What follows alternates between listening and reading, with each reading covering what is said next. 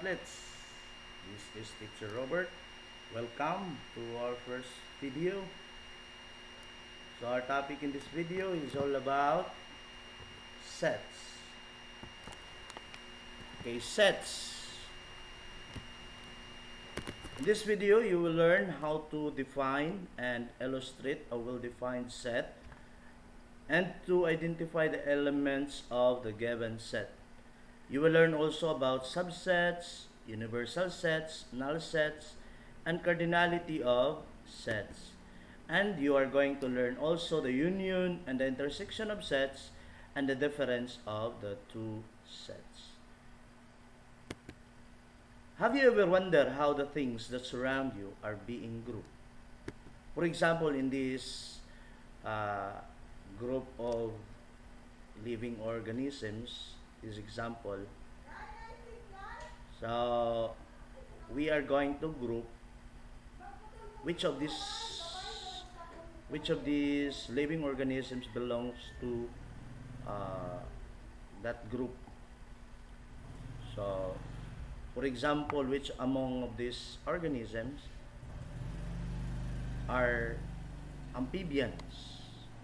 When you say amphibian, uh, these are the animals that lives both water and land by land and water. So asa man ana nga animal. So we are going to determine. So this this frog no? This frog there are three frogs these animals are uh, belongs to the group of amphibian grupo sa mga amphibian. So, kini sila tulo. Then, another is, which of these animals are uh, feathered animals? Kung ka ng dunay mga balhibo. Uh, which of these organisms belongs to feathered animals? So, this one, the chicken, ini the duck. Is that the duck? I think so. This is the duck. So, and then this little penguin. Okay. So they are now feathered animals. Then So this this organisms belongs to the feathered animals. So the group of feathered animals. Another is which of these animals can live uh, in water? Unsa man nga mga animals ang mga or these organisms can live in water? Asa man ana? So this one the shark, the fish, another fish, then these frogs As I've said, frogs belongs to amphibian that both can live both water and land. So we can consider frog also as uh, belongs to the group of organisms that can live in water. Ha? So, nga na, maggrupo uh, di kanang kumbaga imong i-identify which of these things belongs to a particular group and that group has uh, a, a particular characteristic no?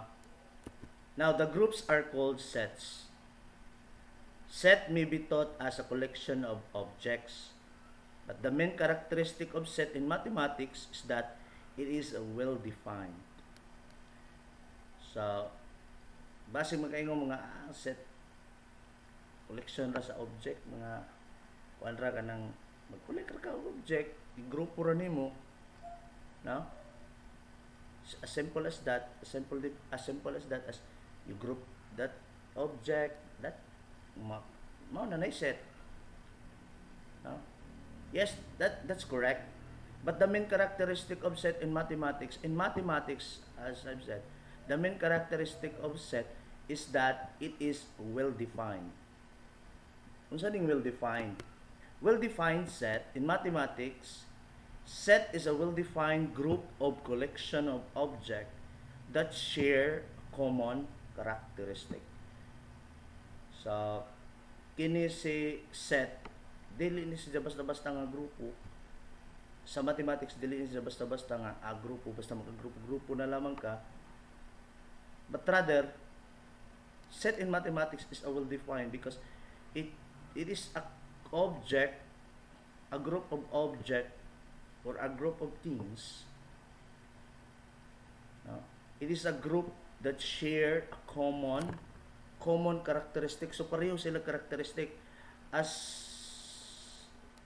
uh, as an example as we showed an example previous example umoingon ka og living organism belongs to uh, rip, ano, amphibian. As I've said, amphibian. So the common characteristic is bisag unsa to siya nga organism basta kay amphibian siya. Unsa ang amphibian? Lives both water and land. So kana siya ang common characteristic. Uh, uh, feathered animals. So the common characteristic is the feathered animals.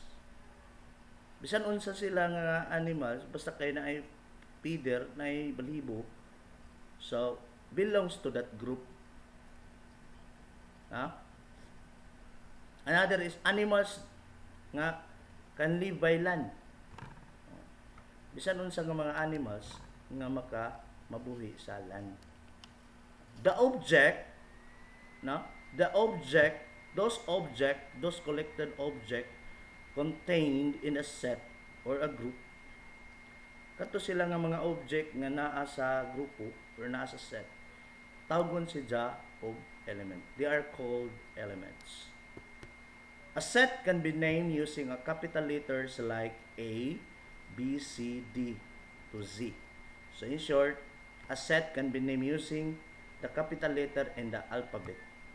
The capital letter in alphabet. And we use braces. Now, this symbol, kani nga symbol, is what we call the braces. No? To group the elements of set separated by commas. For example, we have set A whose elements are 1, 2, 3, 4, 5, and 6. So, that A there, capital letter A, is the name of the set. This is the name of the set and can be read as set A. Set A siya. No? Basahon siya as set A. And those are the braces. Again, those braces uh, group, no? Kung mo siya maggrupo mag-contain mo sa indication it indicates that naa mo si jay kuan sa set mo ni si jay uh, kumbaga teritoryo sa set boundary sa set no? si jay mag-contain sa element kanang mga number na sa ito nga those 1, 2, 3, 4, 5, 6 that's separated by commas those are what we call element. So if a set contains many elements, so kung daghan kuno nga elements, we often use three dots. Kung grabe ra kadaghan ang elements, magamit na taog three dots. That dots, kanang tulo nga dots called ellipses. Tawagon sa ellipses. For example, if we are going to write the set of numbers that is less than or equal to 1,000, kadak kadaghan no kadaghan if we are going to write the set of numbers that is less than or equal to 1000 grabe kadaghan kung atong isuwat. So we are going to use ellipses. So set A is equal to 1 2 3 4 5 6 dot dot dot dot comma 1000 ellipses ang atong gigamit now but pasabot sa ellipses it indicates that there are elements in the set that have not been written down. So but pasabot anang mga ellipses kanang dot diha, but pasabot do na pay mga element sa set nga wala nato gisuwat gumikan kay arang kadaghan. No? So but pasabot aning atong set A, number si gikan sa 1 to 1000. Nakuha? So kanang atong ellipses but pasabot na ay 7 diha, 7 to 999. Na diha. So grabe kung atong isuwat taas kaadyo mapuno no? Grabe ka taas ang atong set. Sobra kadaghan ng elements. Mao nang magamit og ellipses para mo murag mo gamay-gamay ang kuan ba? Pero same the contain or the number of elements are ra pero wala man nato gisuwat tanan so those are ellipses it indicates that there are elements in the set that have not been written down For example, sa well-defined set, well-defined set, ang example sa well-defined set are the set of primary colors. An example of well-defined set. The set of primary colors. Primary colors, what are the primary colors? So, we have set M is equal to, or set M has an element of red, yellow, blue red, yellow, blue. Those are the primary colors. Second example is the set of all even numbers. Set of all even numbers. What are the even numbers? So set E has an element of 2, 4, 6, that, that, that, kay there are too many even numbers. Daghan kaadyo ang even number. So that's why we use ellipses. So these are the elements. So we represent this set as set E. Set E. So number three example is the set of all multiples of 5. So again, multiples of 5, there are so many numbers that are multiple of 5. So we use y uh, to represent our set. So we have set y as an element of 5, 10, 15 dot dot dot. So we use the ellipses. Gamit ta og ellipses kay sobra kadaghan so but pasabot again but pasabot aning ellipses it indicates that there are still elements of the set that has, has not been wala nato gisuwat. Pero na ah. So what's next to 15 20 25 30 35 daghan adto so on and so forth so daghan mao nang nagamit ta og ellipsis Next is the set of letters or the set of letter in the word arrange. So set of letter, letter man ang sa words nga arrange. So we have so we will represent O as uh, to represent our set. So we have set O has an element of the letter A, R, N, G, and E. Sir, Have you noticed that uh, ang R is sara? A A po sir is sara? Hmm. Again, the set of letter man, set of letter in the word arrange. So, kanang mga nagbalik-balik, dili na nato ikon kay magbalik na pud siya. Same element ra man siya, pareho ra man nga element. Pareho ra man nga element. Nakuha Mauro man nga element. So, element uh, A, na ano man si A, R. So, isa rin mo represent nila. No? Isa rin mo represent nila. So, those are the examples of a well-defined set. Now, let's proceed to the example. What are these? Kung saan the examples na not well-defined? Kanang not well-defined set, sir. For example, the set of famous dancers. Can you determine the set of famous dancers who are famous huh? it is uh, it is difficult to determine the famous because uh, people might a conflict on on the definition of what is famous unsa nang famous how famous is famous ana man ta mag differ ano man ta mag uh, mag magkalain How famous is famous. Kay pwede man ko magbutang og bisag kinsa ra nga dancer. Mga ahong na ilhan. Basta kay famous na sila. Di ba? Pero sa imong pagtan-aw dili dai sila famous. So magka-conflict ta. So mao nang not well defined set. Mangutan pangutan-on mo na to how famous is famous. Hmm. Unsa man ang famous? Second is the set of punctual student in your class. Punctual. How punctual is punctual? Mo ay pangutana. How punctual is punctual? The set of honest people. people. How honest is honest? ano sa man ang honest? Nga na man, siya. Not well defined na siya the set of all large number. How large is large? Unsa man kadako ang imong gusto nga ihibutang naho? Do na ba imong basihan? Wala, di ba? Large ra ingon ra nga large. Umuingon ko og one. Large naman na. Two. Large naman na. Sa para sa aho. Pero dili ay large para sa imo. So it is not well defined. Mangutan naman da ka, pangutanon man da how large is large? Um, unsa ka dako ang da, unsa man ka dako? Unsa man nga dako? Nga na gani? Murag na question mark ba? Number five is the set of nice students in your class. How nice is nice? So may basihan na to sa pagka nice. Di ba?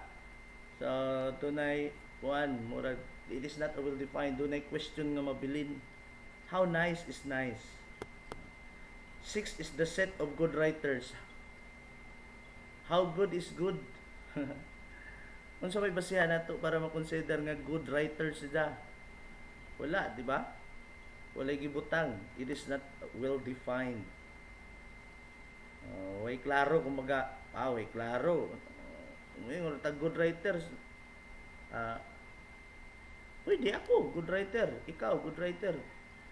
Pero sa uban, ang pagtanaw, dili ta mga good writers. Ano na, how good is good. Kinhanglan, klaro, doon ay basihan. Good writer sa naman ang butang niya. Okay. Let's proceed to universal set. Universal set.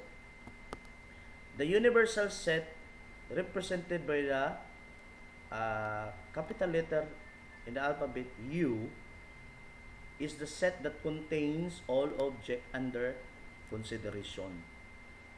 So kini sidya nga mga set, kini sidya nga set klase, universal set sidya.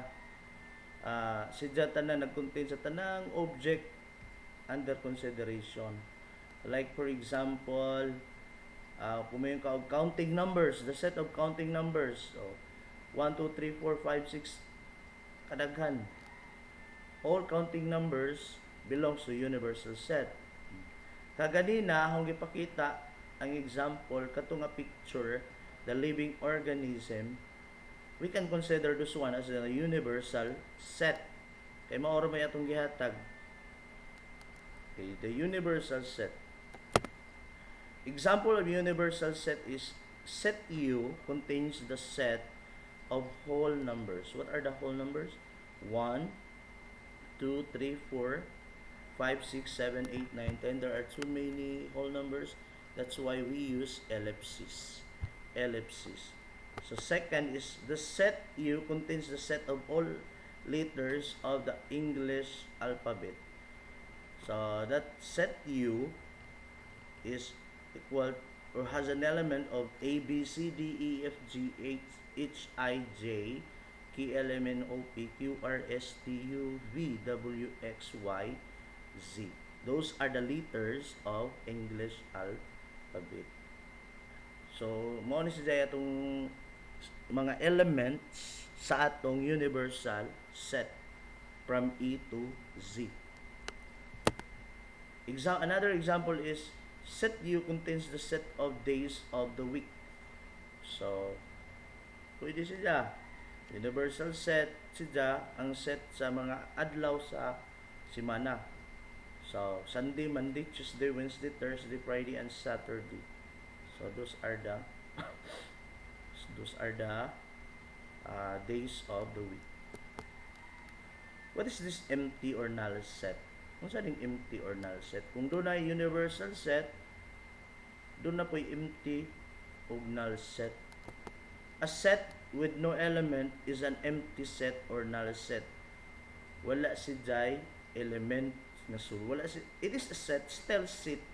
It is still a set but it has no element. Wala si Jai element na sulod. Tawag na nga set as null set o empty set. So the symbol for empty set is that the braces, walay sulod nga braces or kanang zero nga na ay uh, kuhit kani siya. So these are the example of uh, these are the symbol for the empty set. Example of empty set. The set T is the set of counting numbers between 1 and 2. Doon na ba'y counting numbers between 1 and 2? Wala, di ba? So, we have set T is equal to is empty set. Empty set, walay element. Walay ato ibutang kay wala may number nga or counting numbers nga between 1 and 2. No? Wala man. So, empty siya. Second is set I is the set of months with 35 days. Doon na ba'y buwan nga 35 days? Wala, di ba? So, si set I, ang set I na to is an empty set. Walay mabutang na to nga buwan. Okay. Sabot. Number 3 is set M is the set of cars with 60 doors. Sakjanan nga sa sinta kabuok sira. Doon na ba?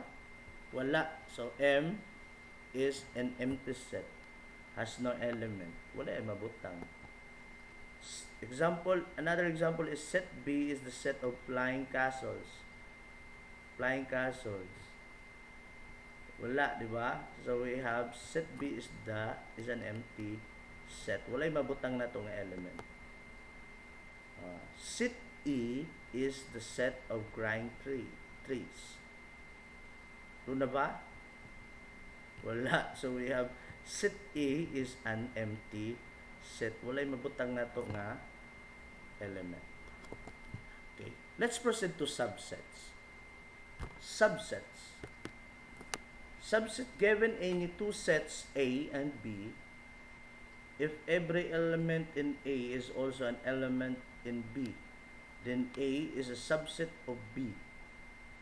So, the symbol A is the subset of B. Kanang symbol niya. Kini. We have A is read as A is a subset of B. No? So we have two element, uh, two sets. We can say that A is a subset of B if every element in A, kung ang tanang element ni A, mao po'y element ni B. Nakuha? Naa kang B. So, every set is a subset of itself. As I've said, kung dunay duha ka element, or dunay duha ka sets rather, then pareho sila og element sulod, pareho sila pareho sila og element. That element we have set A pareho og sulod kang set B. But pasabot si set A is uh, a subset of set B. Huh?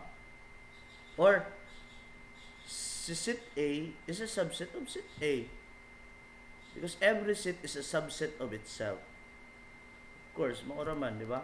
A subset of a given set that is not the set itself is called a proper subset. So kung dunay set nga ang ijang mga element dili pareho or di, ang ijang element naa uh, uh, naa sa isa ka el, sa set pero dili tanan. Dili tanan. Dili tanan ni ja element to adito no? That is what we call the subset, but it is a proper subset. So we have proper subset. Set A is a proper subset of set B, written as A subset of B. If there is at least one element in B that is not in A. Na? Kung si A mahimong proper subset of set B kung dunay element ni B at least one element ni B nga wala kang A pero ang tanan element ni A tuwa kang B Kuha. Okay, consider the sets. Consider the sets. For example, consider the sets para maklaro. We have set A has an element of A, B, C. And set B has an element of A, B, C, D. Huh? So we can say that A is a proper subset of B since its element in A is also an element in B. And there is at least one element in B that is not in A. So makaingon ko no ta si A is a proper subset ni B kay tanawa ang tanang element all the elements o, ni set A na akang B. ABC na po ABC si B. Hindi adunay element ni B nga wala kang A which is D. Diba? D is an element of set B. D is an element of B. The D is not an element of A. D is the element kang A to as is kang B. So, but pasabot, it is a proper subset. A is a proper subset of B. Kay dili man uh, ang no, ang tanang element na A tuwa kang B. Unya dunay element ni B nga wala kang A. Ha? Ano siya? Proper subset ang tawag ana. Ang katong subset ra jud, prop, uh, ang subset ra uh, A is a subset of A. Ana siya. A is a subset of A. A is a subset of itself. Kuha. Mato si Jay subset. Proper subset is katong walay kani si kang A ijang element to akang B. Unya ang element ni B? Dunay element ni B nga wala kang A. That is proper subset. Okay. Consider the set again. We have A is an empty set and B is has an element of A, B, C. Ang atong set A is an empty set. Set B has an element of A, B, C. Now, we can say that A is a subset, is a proper subset of B. Proper subset si Ja kay since A is an empty set, empty set man si A, and has no element. Has no elements. This means that it is impossible to find an element in A that is not B. So, imposible na to makita nga element nga gikan kang A nga wala kang B. No? And there is none that can fail to be elements of B. Oh, wala po tayo makita nga maka feel na to nga ma makuanta nga mo sila element kang B. Wala man sila element si A, set A, wala sila element dito makita kang B. No? Unya, kining si B, ni satisfy siya no? Ang element ni B, wala pud kang A. So therefore, it is a sub proper subset. By the same reasoning, the empty set is a subset of every set. So, si empty set is also a subset of every set. Again, kaganina niyo yung tanga. Every set is a subset by itself. So, ang tanang set is a subset sa ilang kaugalingon. Karon ingon na butag, the empty set is a subset of every set. Ang empty set kuno subset sa tanang set. O ha? So for example, determine the possible subsets of set of the set R whose elements are 1, 2. So there uh, we have the sets R whose elements are 1 and 2. So we have to determine the possible subsets of the set R. So the solution, the possible subsets are, so since si R has two elements, so magsugod tag two elements, 2, 1, and 0 element. So we have 2, the subset is 1, 2. 1, 2. Ang set is 1, 2. Itself. Di ba mauma na si R? 1, 2. Then, kung tag-usa-usa, we have 1 element whose ano, set whose element is 1 and set whose element is 2. Diba? That is the subset. And also, of course, we have set whose element is uh, set who has no element. Wala, wala si Jai element. As I've said,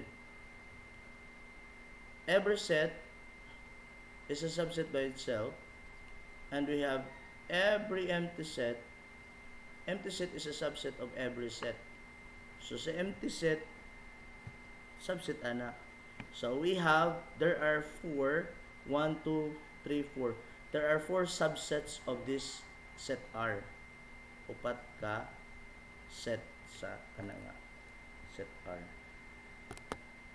so example to we have we have the set O whose elements are red, blue, and yellow. So we have to find the possible subsets of O. So there are, so since set O has three elements, magsugod po ta og three elements. Kay, magsugod man ta kay subset man itong gipangita niyo ta nga.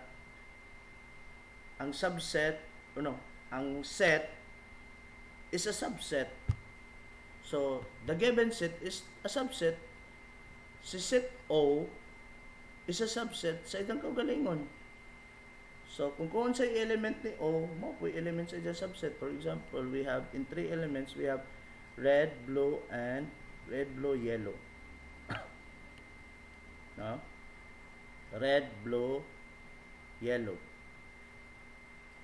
Sa two elements, we have red, blue, red yellow and blue yellow sa one element we have red blue yellow and then we have the zero element the empty set so and you know so if we are going to count the subsets we have 1 2 3 4 5 6 7 8 there are 8 subsets of our set O Uh, these are the subsets. Again, these are the possible subsets. There are eight possible subsets of set O. We have example 3. We have set S. Set S has an element of 3, 6, 9, and 12. 3, 6, 9, 12. There are four elements of our given set S. So the possible subsets of set S are, we have, in the four elements, we have Kay 4 elements man, so mag-start sa 4. We have 4, we have 3, 6, 9, 12. Same as the elements given of, the given sets. Sa 3 elements, we have 3, 6, 9, 3, 6, 12, 3, 9, 12, 6, 9, 12. Sa 2 elements, we have 3, 6, 3, 9, 3, 12, 6, 9, 6, 12, 9, 12. So one element we have 3, 6, 9, and 12. So 0 is an empty set. No? So if we are going to count, we have 1, 2, 3, 4, 5, 6, 7, 8, 9, 10, 11, 12, 13, 14, 15, 16. There are 16 uh, possible subsets of set S we have set E. We have the elements, the set A has an element of MATH. So there are four.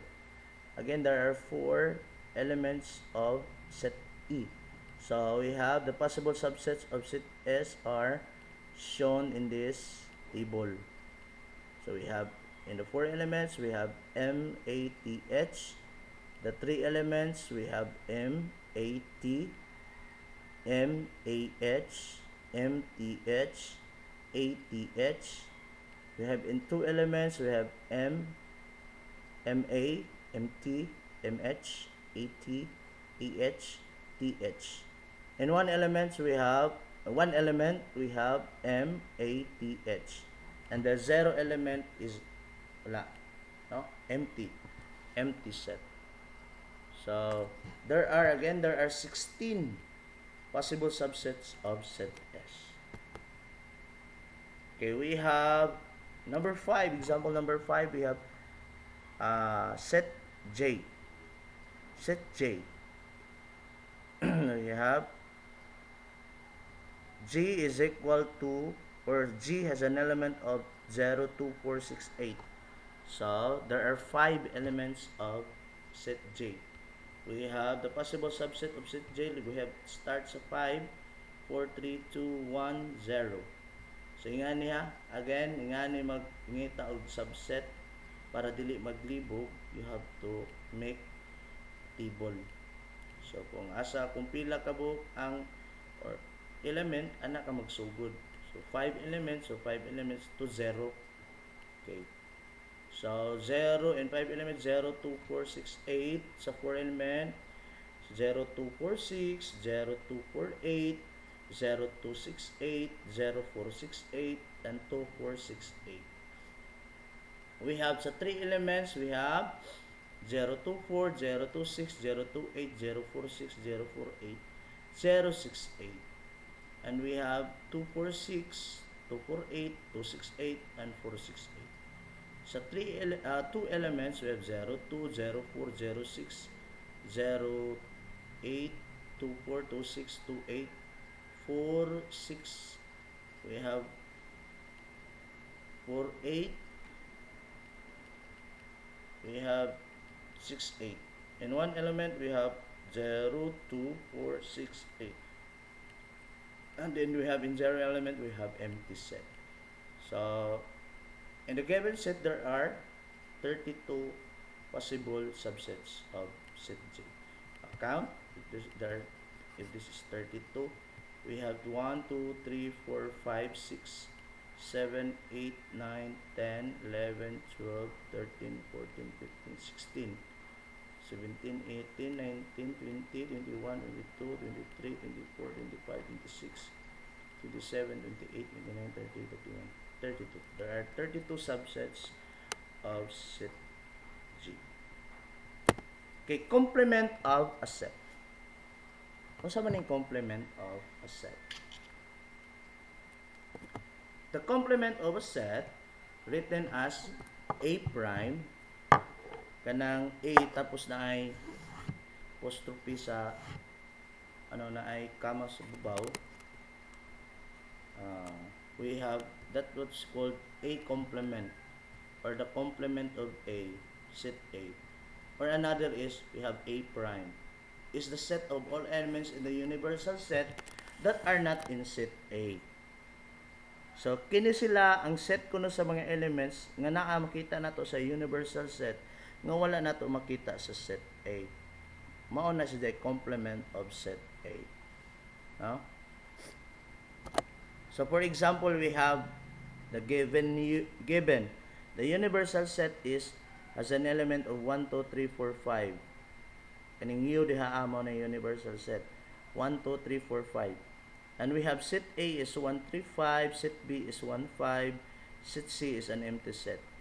So we have to find the complement of set A, the complement of set B, and the complement of set C. Now, we have to, okay, in solution sa A, ang A complement or A prime or the complement of A is the set of L of all element that is in the universal set that is not in set A. all elements in a universal set that is not in set A. Subot pa sabot, atong basihan si set A. A na to has an element of 1, 3, 5. Atong ikumpara kang universal set, so 1, 3, 5. So unsa may wa kang set A? 2, 4. So mauna si day atong complement of A. So the complement of A is 2, 4. But pasabot, the elements 2 and 4 wala sa kang A. Wala kang set A. Pero naa kang universal. So ha. Okay. Kang set, uh, solution B, we have to find the complement of B. So the complement of B is okay, the set B has an element of 1 and 5. 1 and 5. 1 5. So ang wala ang mga elements nga wala kang B is 2 3 4. 2 3 4. 2 3 4. So therefore the complement of B is 2 3 4. Solution C. We have we have to find the complement of set C. The complement of set C or the C prime. We have C or the set C is an empty set. So empty set man siya. So wala. So uh, sa universal set, so buto sa tanan element ng universal set, wala kang set C. But pasabot, si C prime is has an element of, the complement of C has an element of 1, 2, 3, 4, 5, tanan element. But pasabot, si C, complement of C is equal to the universal set. Kuha. Okay. The cardinality of set. What is this cardinality of set? O sa man cardinality of sets? The cardinal number of set A denoted by N kanang N A diha a na N nga gamay small letter N. That is read as the cardinality of set the cardinality of set A cardinality of set A. So it is the number of elements in the set A.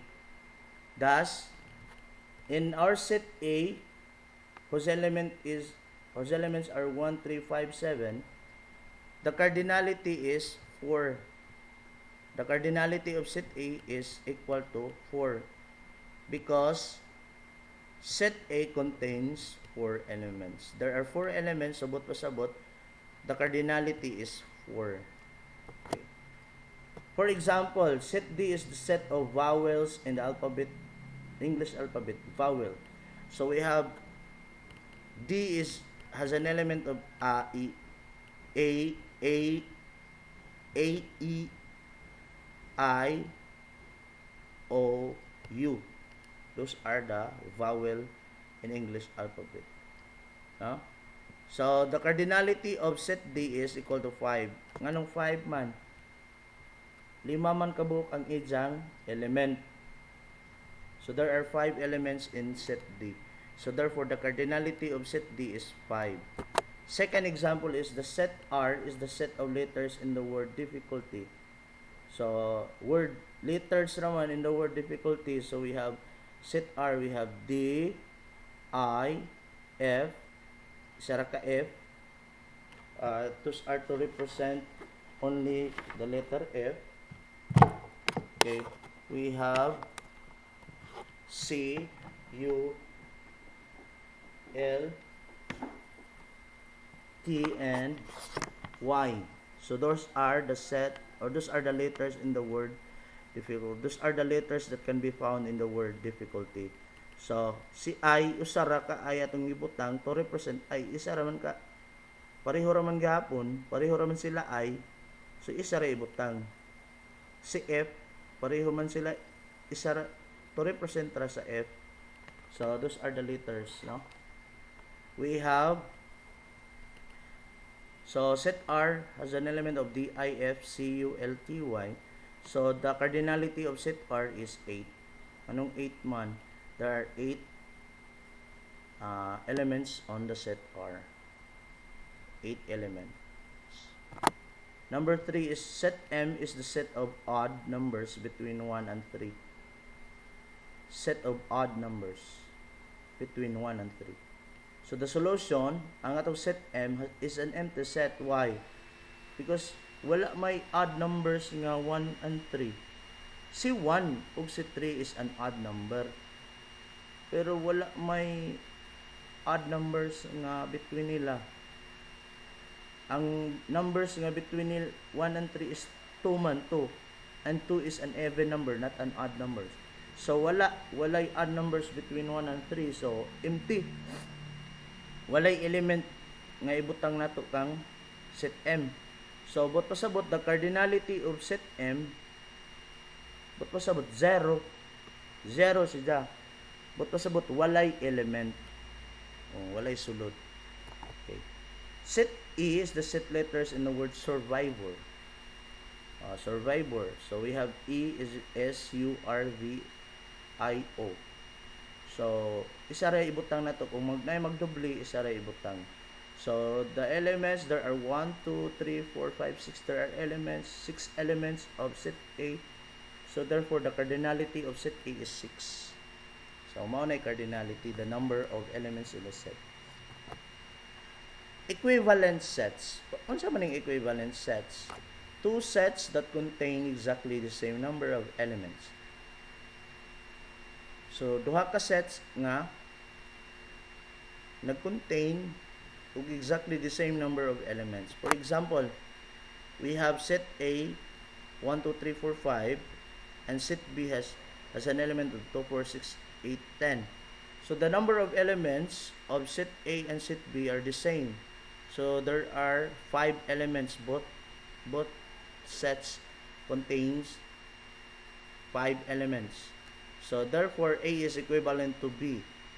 A is equivalent to B in symbol. Monas dyan in symbol. A is equivalent to B because both set contains five elements. Equal sets. Unsa nang equal sets? Equal sets are two sets that contain exactly the same element. Kaganina sa equivalent contain exactly the same number of elements. Karon sa equal set contain exactly the same element. Duha ka set nga pareho og mga element. For example, we have set A is equal has an element of say ER. Set B nato has an element of ER C. ER C. So as we observe, pareho sila, both elements pareho na ay A, pareho na ay R, o pareho na ay C. So both elements contain exactly the same, or both sets contains exactly the same elements. So therefore A is equal to B because both set contain exactly the same elements. The order of element does not matter.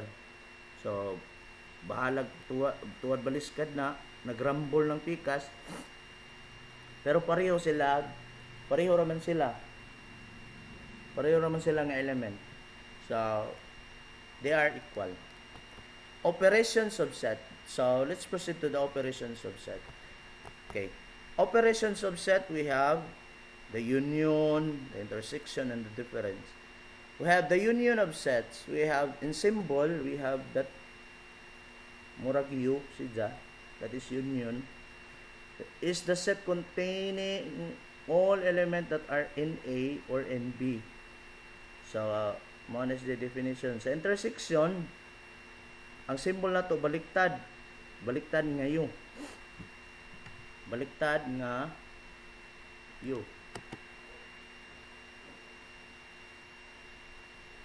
okay baliktad nga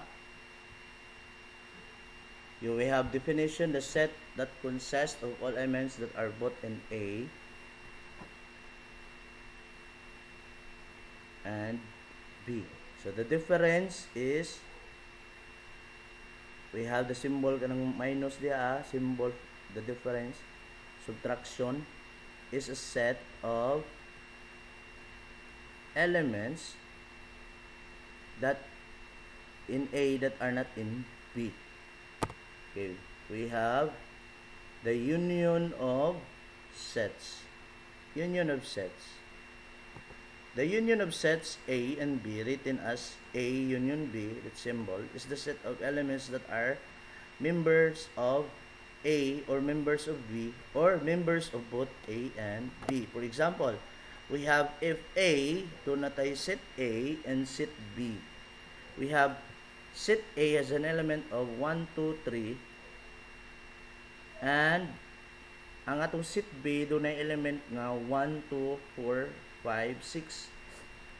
Then, A union B, put pasabot, gani, may kag union, i, i, isagol na to ang isagol na to ang tibuo na to ang element ni A o ni B. Uh, that is A union B. 1, 2, 3, 4, 5, 6 na. Uh, si 1, Ido, butang na to, pareho man sila na 1. Kuha na to si 1. 2. Uh, isa rin ibutang na to. Again, pareho man sila na ito, isa rin ibutang na to nga to. So, na 3. Si A kay na may 3. So, butang na to 3. So, 4, 5, 6 man kang B. Butang na to 4, 5, 6. Again, tipuno na to. Uh, ang ilang mga element. That is union. Tipo. Kung na magbalik-balik, usara ibutang. Second example is, if A has an element of A, B, C, D, E, and set B has an element of A, E, I, O, U, then E union B is A, B, C, D, E, I, O, U. Sagol. Pareho man sila na A, A o E, isa rin gibutang tapos gikapit tanan. So we have example another example is if A has is has an element of Monday, Tuesday, Wednesday, Thursday, Friday and set B has an element of Saturday and Sunday then union A is Monday, Tuesday, Wednesday, Thursday, Friday, Saturday and Sunday.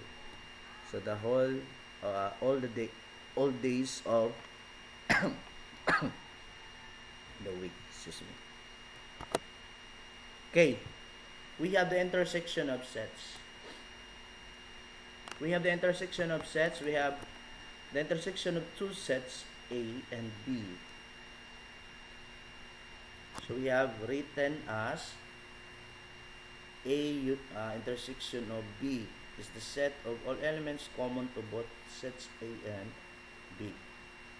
Kaganina si union, kung atong si union, kung ang union atong tibuon sa intersection uh, atong i-determine katong sets nga common sa buha, duha ka uh, sets. But when you say common uh, pareho sila element nga pareho na dunay pareho na kang A ug kang B.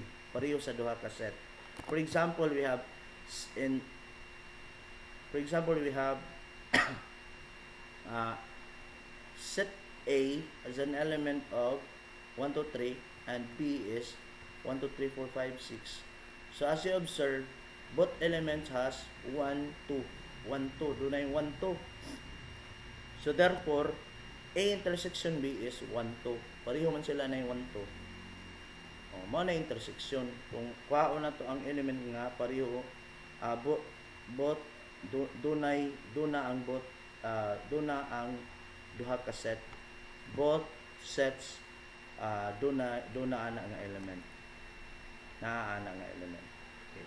in example 1 we have 1 and 2 the elements are 1 and 2 the intersection of A and set set A and set B is 1 and 2 pareho man sila do na 1 and 2 we have number 2 is if A is A B C D A and set B is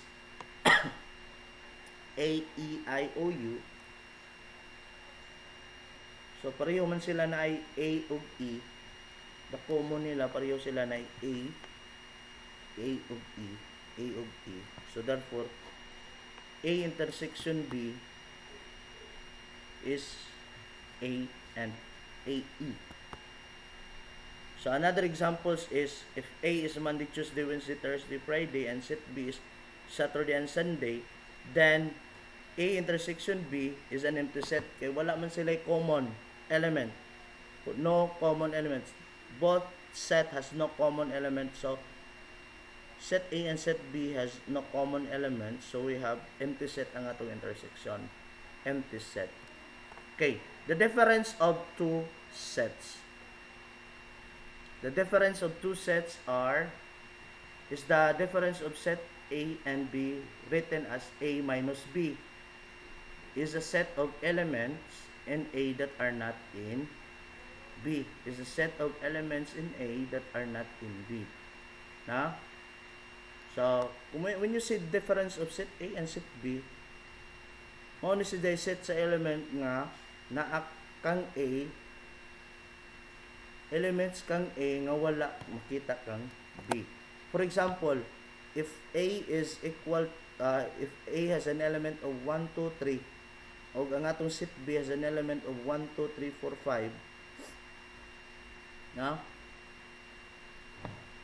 Atong i-determine kang set A. So kung may kag A minus B A minus B but pasabot si A ang atong basihan. Mangita kag element dire nga wala kang B. Ha so kung moingon kag 1 na may kang B. 2 na apoy kang B. 3 wala kang B but pasabot A minus B is equal has, is 3. Only 3. The element 3 is uh, the only element nga wala kang B. Kaha? While, kung baliktaro na to, B minus A, so basihan na to si B. But pasabot, mangita tag element diri kang B nga wala kang A. So 1, wala kang naaman. 2 naapod kang A. 4, 5, 6 wala. So 4, 5, 6 ang ato yung butang. So 4, B minus A. Okay. Another example is if A is an element of A, B, C, D, E and set B has an element of A, E, I, O, U then A minus B is mga element ni A nga wala kang B. So, A na aman. BCD. BCD, wala kang B. So, BCD. The elements are BCD. While, B minus A, mga element kang B nga wala kang A. So, I, O, U. I, O, U, wala kang A. Okay. Okay. This is it. The activity 1 the required activity. So, required si Ja, kay mao ni si Ja inyong answeran. So, you have no need to answer your module. Uh, just scan your module, review, uh, review, uh, make, uh, uh, because all the things that can be found in your module are be, uh, ato nang gidiscuss diri no gidiscuss So, no need to answer your module. Uh, make it a reference and scan, scan, review, try to ans uh, try to uh, practice those uh, activities in the module, practice rakan. So, this one is the required activity. So, activity 1. So, ready, set, go. Instruction, you have to write your answer in a one, one whole sheet of paper. One hole then avoid any erasure. So avoid any erasure. So any form of it will automatically consider your answer as wrong. So kindly show your solution. So we have the given. We have the universal set has an element of 1 2 3 4 5 6 7 8 9 10 and we have set A is 1, 2, 3, 4, 5. We have set B is has an element of 2, 3, 4. Set C has an element of 2, 4, 6, 8, 10. And set D is an empty set. So this one, you have to find the number 1, the possible subset of sets A, B, and C. So, pangitaon mo ang possible subsets ni A, possible subsets ni B, ug possible subsets ni C. Number two is the cardinality of set. So pangitaon nimo kung unsay cardinality ni set A, cardinality ni set B, cardinality ni set C, o cardinality of set D. Number three is complement of sets. The complement of set A, itaon nimo unsay complement ni set A, complement ni set B, complement ni set C, complement ni set D. Then number 4, the union of set A and set C. Union of set A and set C. Or A union C. Hmm. Number 5 is pangitaon nato ang the intersection of set A and set C. Intersection na pod. Number 4 is union man sa kang A ug C. Number 5 is the intersection. Then number 6 is you're going to find the difference of set A and set B. Set A and set B. Okay? So, thank you. Thank you mga kamatlits. See you to our next video. Have a nice day and keep safe always. Bye-bye.